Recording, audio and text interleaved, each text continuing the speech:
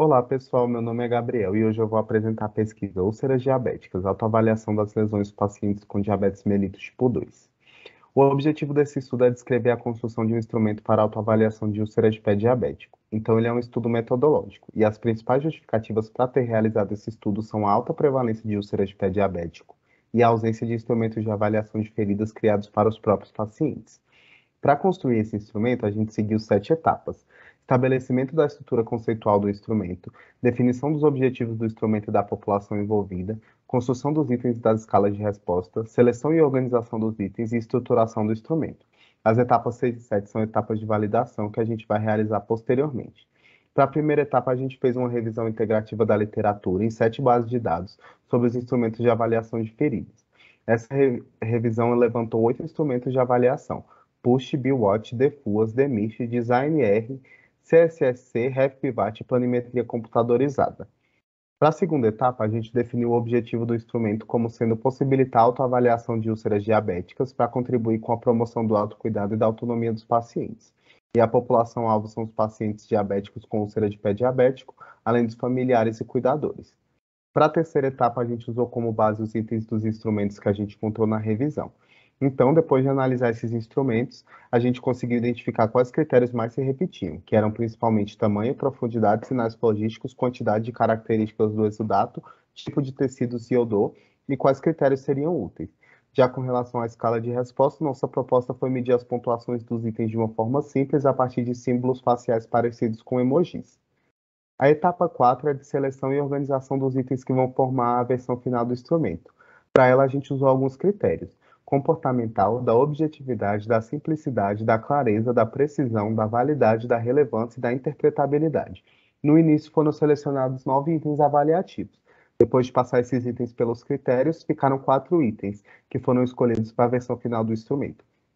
Tamanho e profundidade da ferida, cor da ferida, secreções da ferida e pele ao redor da ferida.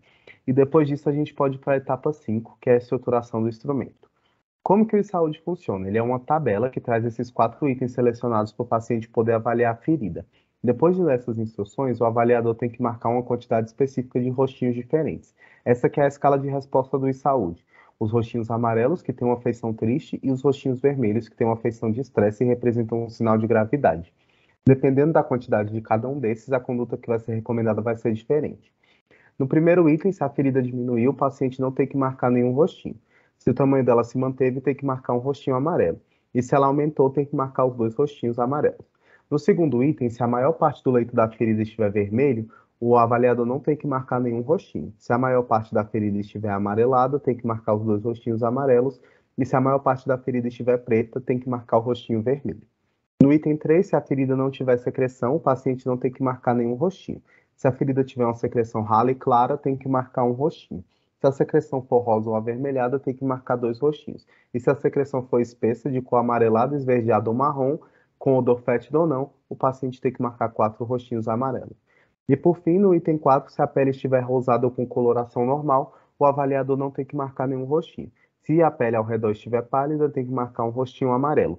Se a pele estiver vermelha, escura ou roxa, dois rostinhos amarelos. E se a pele ao redor da ferida estiver preta, o avaliador tem que marcar o rostinho vermelho. Depois disso, o avaliador tem que somar a quantidade marcada em cada item e preencher o total no final da tabela. E aí chega o momento de interpretar esse score. As condutas que o saúde vai recomendar são encaminhamentos para diferentes níveis de atenção em saúde. Se o paciente tiver marcado de 0 a 2 rostinhos amarelos, a conduta recomendada é a manutenção dos cuidados em casa e a reavaliação com o saúde toda semana. Se ele marcou de 3 a 9 rostinhos amarelos, a conduta recomendada é agendar uma visita ao UBS responsável pelo território em até 3 dias e continuar reavaliando a ferida com saúde toda semana. E se ele tiver marcado 10 rostinhos amarelos ou pelo menos um vermelho, a conduta é procurar o BS ou pronto-socorro imediatamente. Agora que eu já apresentei o instrumento, vou falar sobre as limitações. A primeira é a ausência de instrumentos de avaliação de feridas é, voltados para os próprios pacientes. A segunda é o nível de instrução, já que o paciente analfabeto não vai conseguir utilizar o instrumento. E por último, a necessidade de apoio familiar e social. E para finalizar, eu trouxe a frase: o instrumento possui caráter lúdico e está atrelado a aspectos clínicos da UPD, norteando o processo de autocuidado, a parceria com os profissionais de saúde, instruindo o paciente para o retorno ao serviço de saúde, conforme o score avaliativo. Lembrando também da necessidade de validação do instrumento que ainda precisa ser feita. Muito obrigado a todos e até mais.